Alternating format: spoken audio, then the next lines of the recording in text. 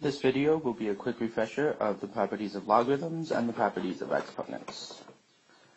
We'll start with the product property, which in exponents says that a to the power of n times a to the power of m is equal to a to the power of n plus m. So an example of this would be something like 3 squared plus 3 to the fourth would equal 3 to the 2 plus 4, which is 6. In logarithms, it says the log base b of x times y is equal to the log base b of x plus the log base b of y. So with numbers, this would look something like the log of 2x is equal to the log of 2 plus the log of x. And that's the product property.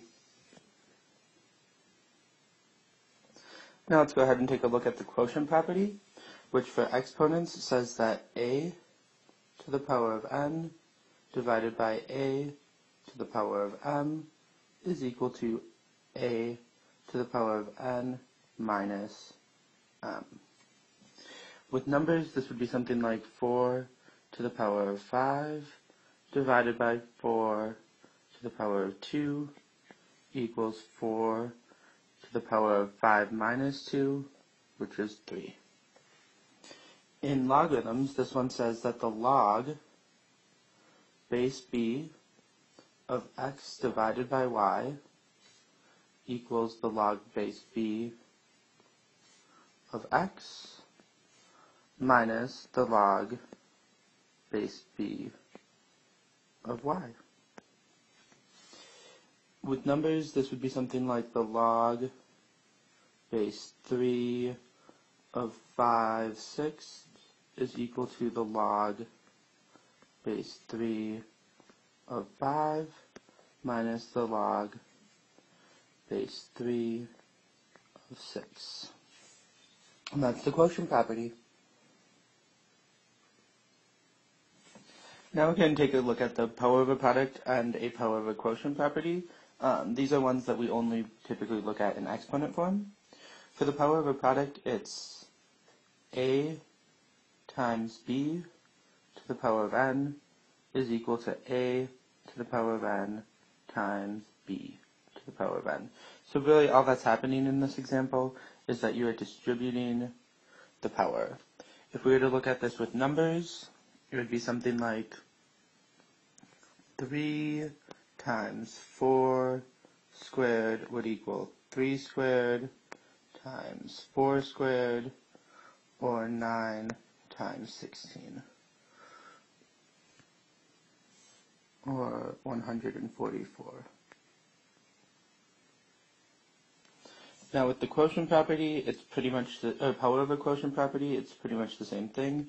It says if you have a divided by b, all being raised to the power of n, that's the same thing as a to the power of n divided by b to the power of n. So again, with numbers, this would be something like uh, 3 fourths squared equals 3 squared over 4 squared, which would be 9 sixteenths, which you can't reduce, so we would leave it as a fraction. And that's the power of a product and the power of a quotient property. Alright, and now we're going to look at power of a power and negative powers.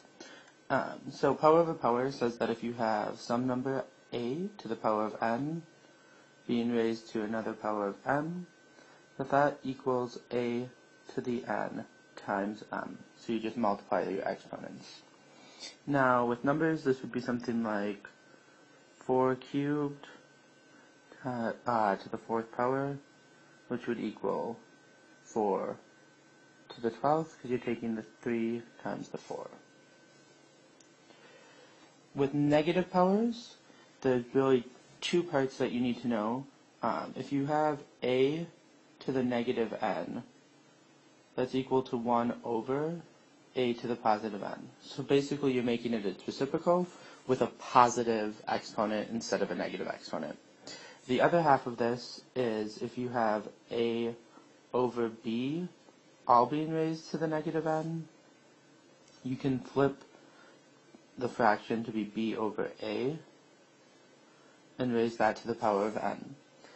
Uh, and so the power becomes positive again. Now remember, if you have it in the numerator, like in this case, this is really a to the negative n over 1. Um, you move it to the denominator. You could have something like 1 over a to the negative n, which would then be the same thing as a to the positive n. So remember, you can also move it out of the denominator into the numerator of a fraction by flipping the sign of the exponent. The sign of a, whatever the base is, doesn't change. That's a common mistake I've been seeing on a lot of quizzes, is that when you have a number like negative 4 squared, you guys want to write it as 1 over 4 squared, and that's not the same thing. It's when the exponent, the power, um, this part up here is negative, that you can make it, um, that you can put into the denominator and make it positive, not when the base is uh, negative. So that's power over power property and negative powers.